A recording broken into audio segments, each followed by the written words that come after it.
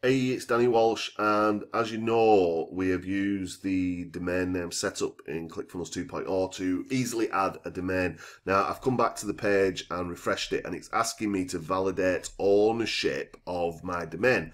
And that might scare you, right? And you're like, oh man, I don't know how to do that. It's dead simple. What you need to do is you click to expand this little table here, and when you press that, it's going to show you what's called a DNS record and you need to put this in so that your um, domain name provider knows that you're authorizing this, right? And it's, it's, dead simple to do. So what you do is you go to wherever you've registered your, your domain, which in, in my case is, is a place called Ionos, and you come into Ionos and you open up the DNS records of your domain. And what you're going to do is you're going to add a record, and in this case, we're going to add a text record because that's what, if you look, ClickFunnels is asking you to do, right? It's a type, it's TXT, text. And what you're going to do is you're going to copy this thing here, like that, go back to your record. And you're going to put the host name, this is like super simple, right? Host name is at.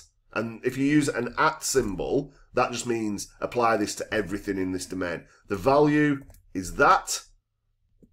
I don't even know what that means. I'm just going to leave it on one hour and press save, right? Um, that's that's valid. Uh, something's going to be disabled and, and, something's going to be replaced, right? That sort of makes sense. Uh, happy days. I might have to press save at the bottom, which I do.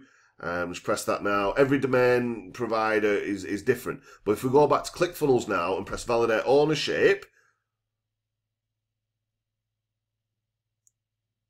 it's now setting up a secure uh, socket layer SSL certificate for the domain. Clearly, it's accepted that record, right? Because it's now moved on to the next step. Now, if you go to your host and you buy an SSL certificate, which is the thing that puts the little padlock in the top left hand side so people know that your site is safe. If you go and buy one of these things, it could cost you $70 or $50 or $40, depending on what you're going to do. ClickFunnels is just giving you one for free, right?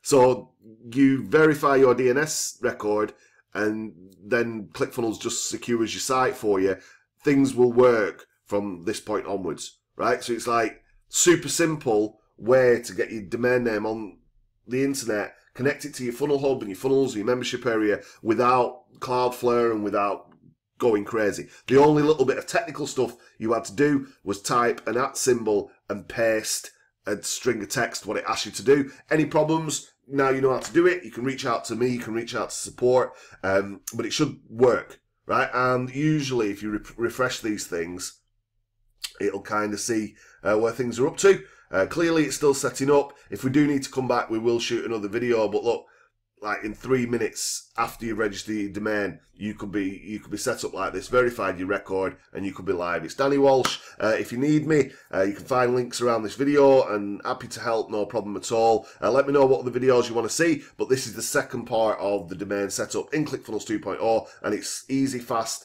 and awesome. Go and connect your domain, start building stuff. I'll see you on the next video. Bye bye.